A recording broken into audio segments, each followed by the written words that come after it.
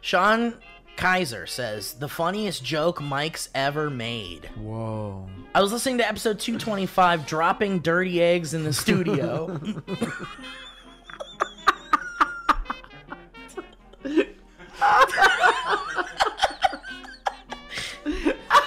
Remember Paul told that famous story? papers.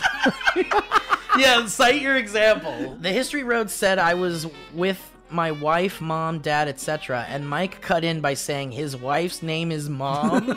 It was a beautiful summer's eve in the year of our Lord 2018, and I was at Disney World with my wife, mom, dad, sister, and my sister's boyfriend. What a trip! Your wife's name is Mom? I laughed out loud oh, way too hard. This is. I was with my wife, mom, dad, etc. Your wife's name. Your, your wife's name is Mom, Dad, etc. this is my wife, Mom, Dad. It's German.